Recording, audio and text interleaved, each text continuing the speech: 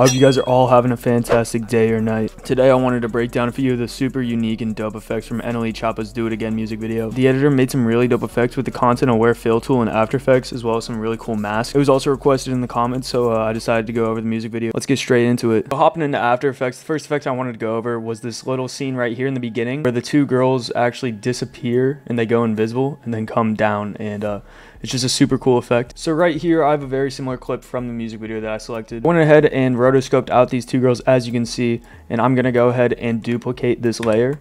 So now we have two different rotoscopes. So now that we have two rotoscoped layers, I'm actually gonna go to one of the two and I'm going to invert the foreground slash background. So now if I go to the composition, you'll see I have two layers here. One is going to be just the background and one is just going to be the two subjects. I'm gonna go ahead, double click on both these and hit freeze and this is going to lock both of these rotoscopes in place. But I have both of these layers frozen.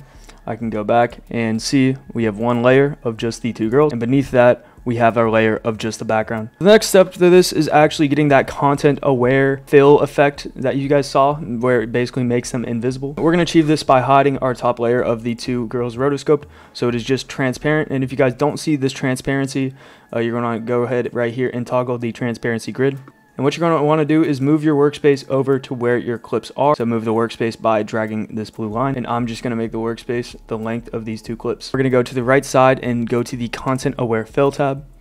And this is where the magic really happens of making it invisible. You guys can go ahead and tweak the settings. I'm going to have my expansion around 17. Fill method surface and our lighting correction is going to be on strong. I'm going to go ahead and click generate fill layer. After Effects just finished creating this fill layer and if I play that through you can see that the girls are now kind of invisible. It makes this really cool effect with artificial intelligence. What we're going to want to go ahead and do is drag this fill layer underneath our original rotoscope. So we have our original rotoscope on top. Looking back at the original effect you can see that they kind of fade away and go invisible and then pop back in. So we're going to do the same thing here. I'm going to go to our top layer going to go down into the transform. I'm going to keyframe the opacity at 100% at the beginning. Then I'm going to go in a few frames and going to keyframe this opacity to zero. So now they go from being there to invisible. And now we just need them to slide down in. I'm going to go to our effects in presets and drag on a transform effect to this rotoscope. Going to go ahead and keyframe the position. Going to go forward one and I'm going to crank this position to around negative 400 and I'm going to come back to the opacity down here. Now that our two girls rotoscoped are now out of the frame I can go to the opacity. I'm going to set a keyframe here go forward one frame and we're just going to reset that back to 100 and now you can see that I actually did not go high enough so I'm going to go back to the frame and crank it to around negative 600 so now it's completely out of frame. Going to go to the effects and the effects transform and I'm going to set a keyframe here. I'm going to go forward the one, two, three, four, make it five frames, and I'm just going to reset the position to 540 so that they slide down. Going to go to my toggle switches and modes and make sure the motion blur is turned on. Now if I play that back, they go invisible and then slide down from the top. And yeah, that's pretty much the entire effect right there. Really stay true to the original. They do have a flash, so I'm going to pre-compose these three layers as one, move all data. Going to grab my levels, drag that on. And as soon as they slide down, I want it to flash. So I'm going to go to right as they slide down. So the frame where they slide down, I'm going to go back one, two, three, four frames and keyframe on my levels. Then I'm going to go back to where they come in. I'm just going to drag the whites to be brighter. Then I'm just going to go one, two, three, four, five frames and reset it to normal. And now we kind of have that flash effect going. Yeah, guys, that's pretty much the first effect. Let's move on. So my favorite effect in this video, and he used it a couple different times. He has NLE kind of like teleporting around with the ghost echo trail behind him. I just think this effect is super cool and super clean. And uh, yeah, I'm going to teach you guys how to create it. So yeah, to recreate this effect, again, you're going to have to have a scene. And I've already gone ahead and rotoscoped out NLE. So as you can see, here's the scene, and he's completely rotoscoped out. And I have not froze this yet. I'm going to duplicate this layer and on the bottom layer, I'm going to go ahead and invert the foreground and background. This one is not inverted and this bottom one is. Now I'm going to go ahead and freeze both these clips. So now with both of these clips frozen, I'm going to close out of the layer.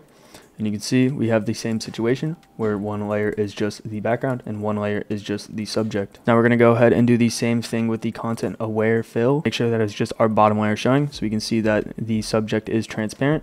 Toggle the transparency grid if it is not transparent.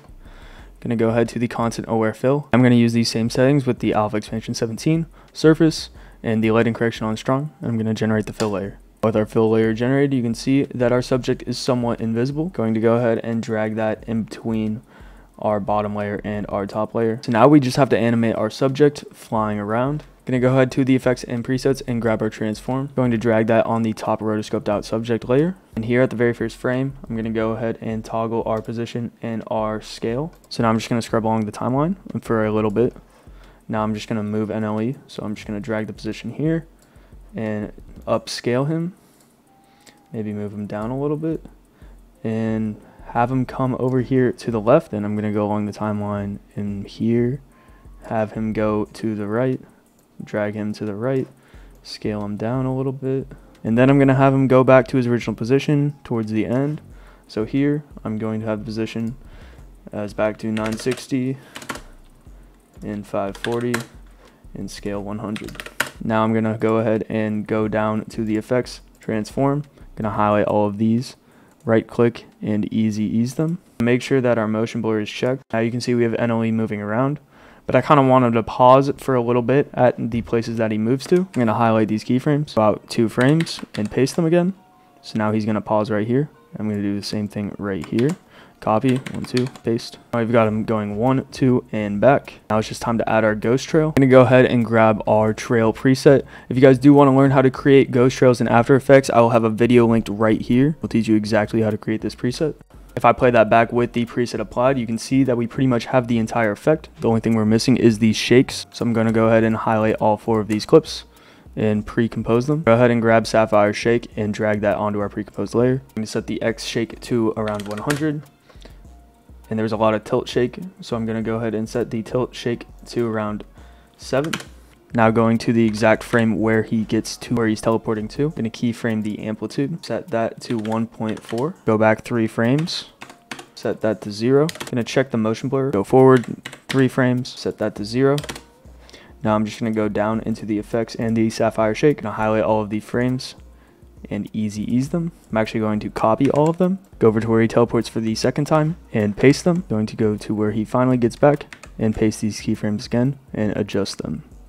You can see that we have NLE teleporting all over the place with a very similar effect to what was in the original music video. The last thing I wanted to go over was this part in the music video where NLE just has like clones flying out of them. This is a very simple effect to do, but I think it just looks so clean, especially where it is executed in this video. Using the exact same clip as the last effect, I have him roto brushed out here, and on the bottom layer, I just have the background with no roto brush at all. So once you have him roto brushed out, I'm going to duplicate this layer and make sure you go to the bottom layer. I'm gonna go ahead and grab transform and drag that on. I'll go into effects and transform. I'm gonna go ahead and keyframe the position at the beginning. Now I'm gonna go out six frames,